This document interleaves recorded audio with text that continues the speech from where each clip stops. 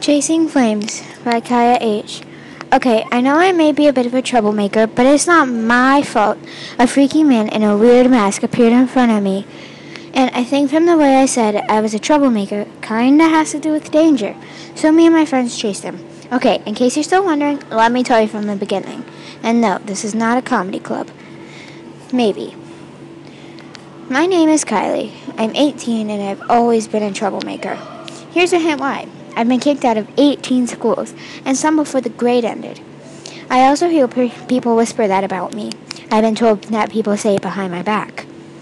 I've got only two friends, and they are exactly like me trouble and into goth. Like me, they've been kicked out of a lot of schools. Well, you get the point. We're bad and goth.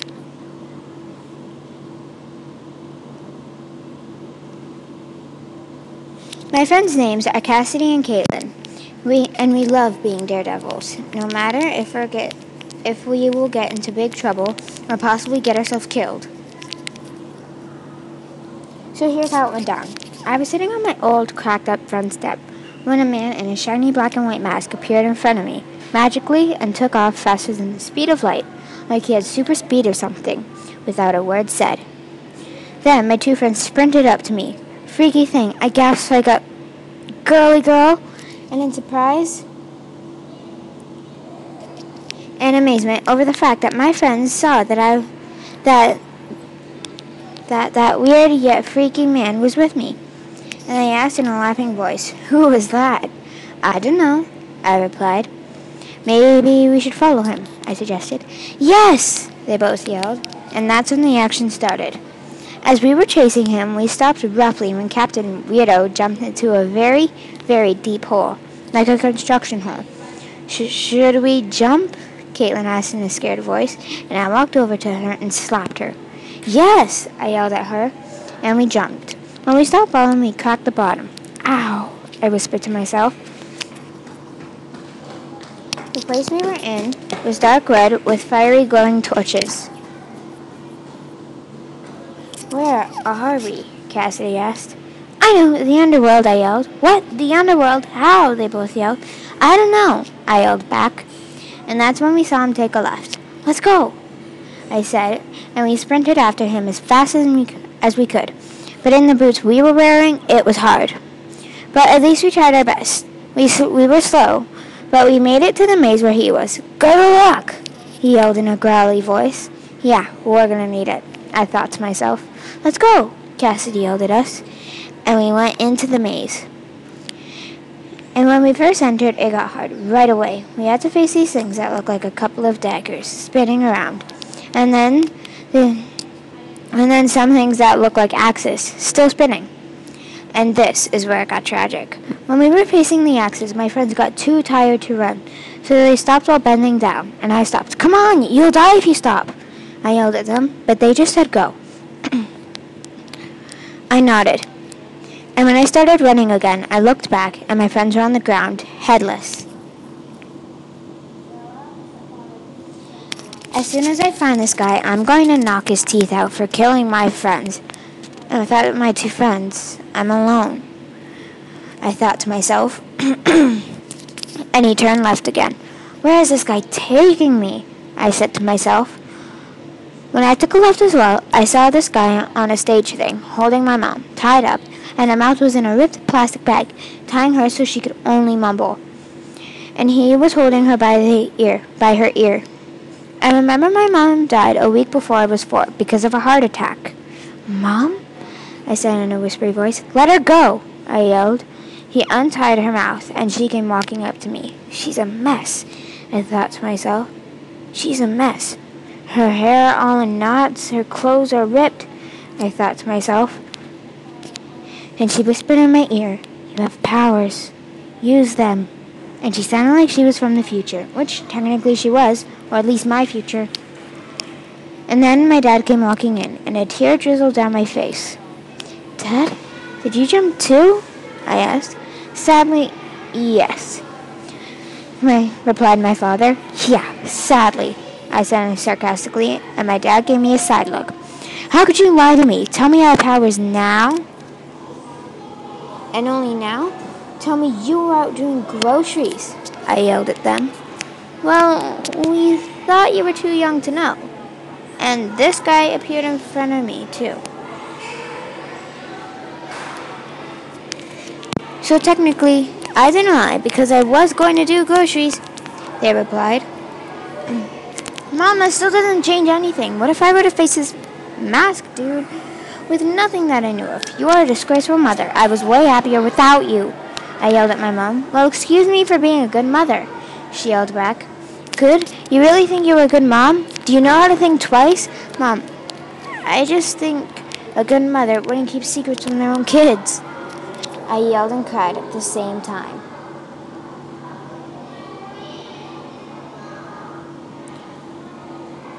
He could have gotten you or someone else killed, she replied in the same voice as me. Kylie, Amanda, you both have to learn to put hurtful words and the past behind you, my dad yelled at us. Well, you know what, Dad? This past will always be in front of me. I replied, I feel sorry for myself that I ever met you again. I said to my mom, Me too, but I feel sorry for myself that I even gave birth to you. My mom said, You know what? I'll take Dad, but not you, never you. I said, First let me know when you find your way out of the maze. She replied, Just as we were fighting, my two friends walked in and said, Kylie, we know how you feel. Our parents lied to us about our powers too. This guy is making us face tragic things, so we won't be able to fight or defeat him. I thought for a moment and said to my mom, So you knew I was coming down here? And you wanted me to know now because this could be the most dangerous face of my life. I said, Exactly, my mom replied. Kylie, 225,890 people have been down here, and about 22,555 don't make it out alive. Caitlin said, Whoa, I replied. That many? I really hope I make it out alive. Us too, Kylie. You gotta help with this torturous place. We can all live happy lives again. You to learn more about your powers, like how to control them, how to use them. If you want to be seen as a hero, this is a perfect time to bring us all back in the place that we belong. Please, Kylie, Cassidy cried. I'll think about it, I replied. As I got thinking, my friends walked in and said, Have you thought about it yet? No, it's only been five minutes, I yelled at them. You guys are really close to not being my friends anymore. Uh, sorry, I'm just frustrated and confused. I said. We know, they both said. Between me and my mom and my powers, I'm just a little on edge, I said. We still know, Kylie. They yelled at me. All right, all right, I said. Okay, I'll help you out of here, I said. Good, they replied. When Cassidy pulled open the door, the masked man tripped in, and as he was walking out, Cassidy said, Oh, great. Now he's going to try to make this harder for us you know, harder to get out. When Cassidy walked out, Caitlin said, Remember, we still know. Yeah, I still know you know, I replied. I thought to myself for a moment, if this guy was going to make it harder, maybe I could make it easier by spying on him.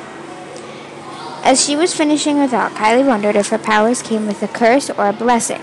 Probably a curse, she said to herself. And she still wondered if saving her friends, her mom, and her dad would make people think different about her, like she wasn't a troublemaker. I don't want that, she said to herself. Wait, my train of thought keeps on getting cut off by another thought. What does that mean? I was now in like a bedroom that they had given me. Don't know why.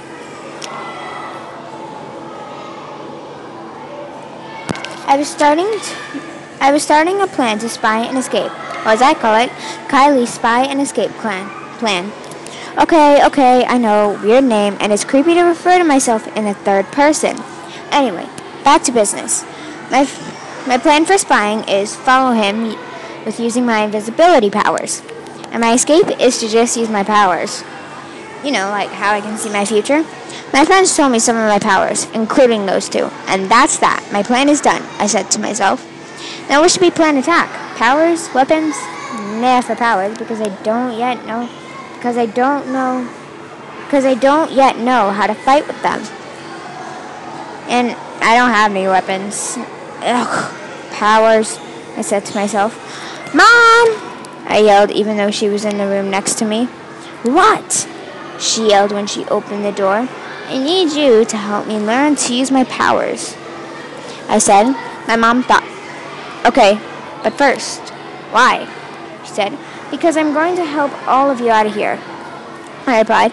My mom froze in amazement.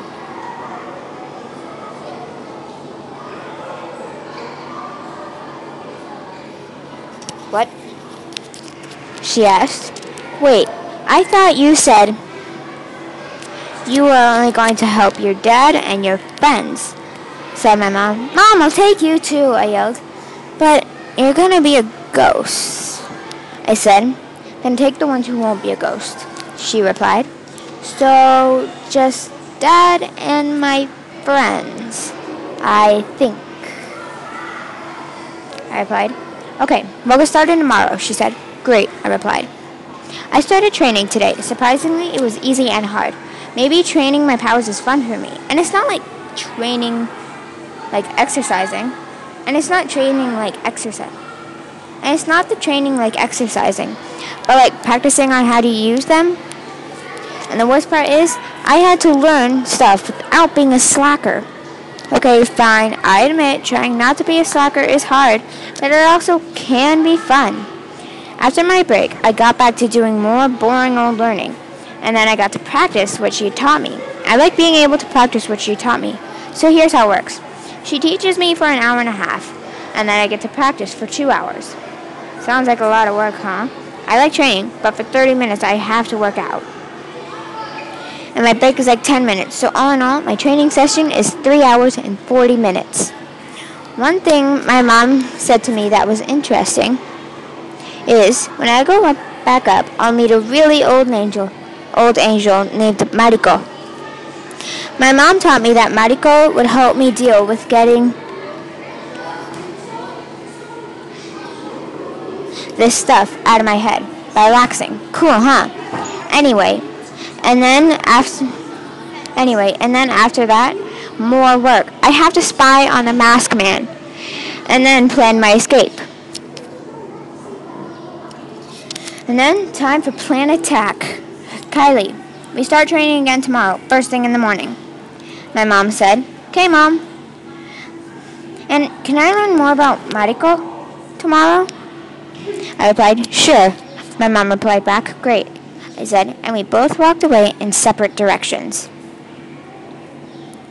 The next day, my mom taught me more about Mariko. Like, she would help me. Like, she could also teach me more than my mom could ever teach me about my powers. Mariko is my favorite thing to learn about in my three hours of training. After more learning about Mariko, I got to practice being relaxed with my powers and being patient because, because that's one of the things that Mariko will also teach me. Patience. After my training was done, I spied on the man in the mask, and then planned my escape, and then planned my attack. If my plan attack was use my power, was my powers, maybe I could ask mom to show me how to use my most powerful one. When I asked my mom the next day to help me learn about my most powerful power, she totally lost it. Like she was yelling, using her powers to do something I can't tell you about. And then she started crying. Mom, it's the only way I might be able to attack the man in the mask, I said. Why the only way? She replied. Because I don't have any weapons. I replied back. Okay. But let me teach my original lesson. She said, Okay. I said, after two hours, my mom taught me my most powerful power and how to use it. But she just told me how to use it, not what it is. I got I got to practice using it, but I'm just confused on what it is. But once I was done practicing, she told me what it is. And cool thing, it is all my powers put into one. My training for the day is done, and I gotta say, it's fun learning without falling asleep during class. But the worst part is, my friends are probably going to think I'm not a slacker. Okay, not the worst part. The worst part is the whole school thinking I'm not a slacker. When my training and my planning was done, I kept on studying Mariko. Like how she could like how she would help me because apparently my mom had some old textbooks. from when she was training. Anyway, I read on how she can help me relax and read more on how she can teach me more than my mom could ever teach me. I read that Mariko would teach me how to meditate. That is going to be when I'm advanced at relaxing. Hey, I wonder if Mariko is going to teach me not to be a daredevil. Well, I mean, it would be nice to fit in with the cool kids, I thought to myself. When I told my mom what I learned about Mariko, she laughed because that was going to be her lesson a day. How Mariko would teach me relaxation and how to relax, and how to use my power, and how to relax using my powers. I think medical is the coolest thing I've learned in my life. Yeah, I said coolest thing I've ever learned about. Okay, I listened to learn my most powerful power. Is all my powers put into one, but medical is the first thing that I've ever studied.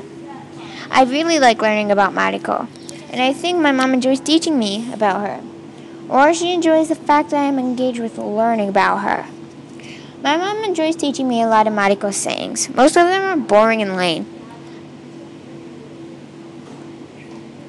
But at the same time, pretty interesting.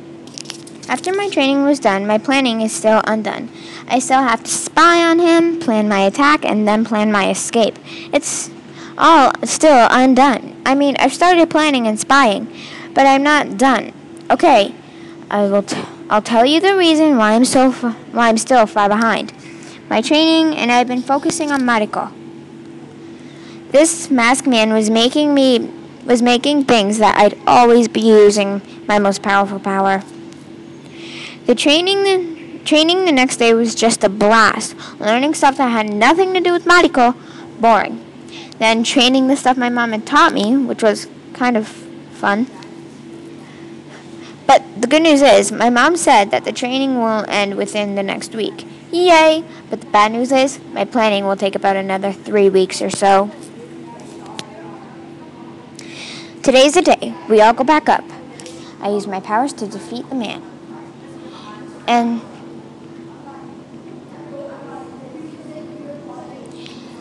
and the mask to defeat the ma- man in the mask and save everyone. You may find this weird, but I calculated how long my plan, the masked man's plan, was done, and I ended up with today. As we were running through the maze, my friend asked, How do you know what's going to happen? Oh, you know me. Always find the easy way out, I replied. Oh, Kylie, they replied back. My mom had come with us to guide us through, like when to use what power at what time. Kylie, this is where you defeat him and bring us back up by taking his, his mask, Caitlin said in a crying voice, and it's also time for me to go back to my horrible life in the underworld. My mom added. I walked over to to her and gave her the biggest hug I had ever given anyone. I know I'm goth, but I, I was sad. I cried into her chest and left tear marks on her shirt. Don't go, I whispered to her while I was still hugging her and crying into her shirt. She lifted my chin and said, You'll be fine. And at that point, I squeezed her so hard, even for a ghost, she couldn't breathe. I stuffed my head inside her chest and just cried. Kylie, I know you can have a change of heart, she whispered in my ear. But I don't know, I replied. Trust me, you do, she said. I just hugged her and cried. I was now defeating him, and it wasn't that hard.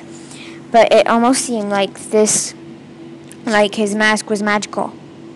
My friends kept on cheering me on. I kept on dodging his strikes with another strike. But then I thought to myself, maybe my most powerful power would be strong enough to defeat him. And with that, I defeated him. After I defeated him, the construction hole appeared again magically and took us all up magically. There were sparkles. And I thought of my mom. Forget that part.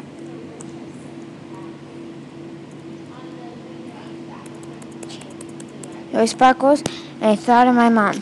A tear drizzled down my cheek slowly. Before I knew it, I was back where I belonged. Where's Mariko? Where's Mariko? To be continued.